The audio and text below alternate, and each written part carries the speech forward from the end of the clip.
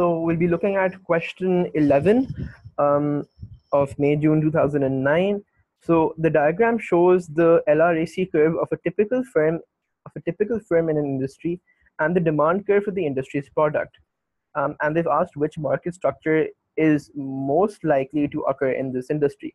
Now, there are two things you need to look in this particular question. You first need to think about the minimum efficient scale. And the second, you need to think about the number of firms in, well, in the industry. So like, uh, how many number of firms does the industry normally have?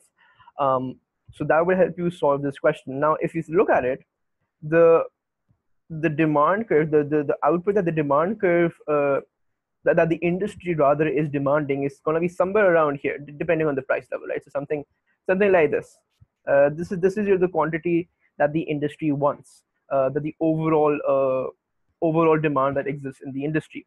And now you have to look at how many firms can be uh, productively efficient and well uh, can be efficient rather can be can can can sorry let me correct that so how many firms can produce at the lowest possible LRA uh, long run average cost and hence full, completely extract and benefit from the economies of scale and hence give you this particular output.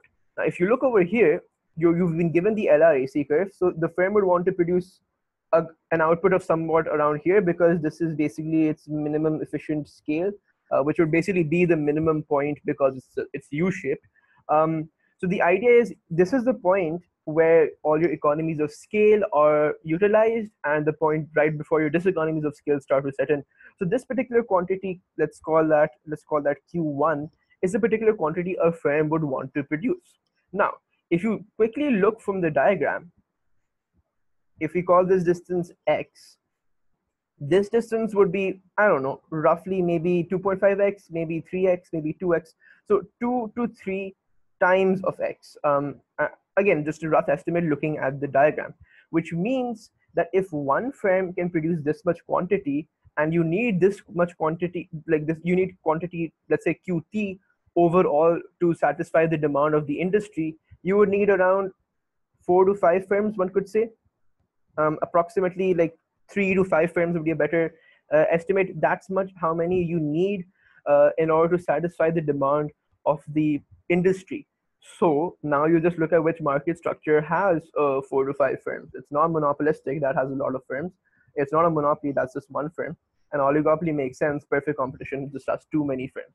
So that was the idea, be, uh, and that was the way you could solve this particular question.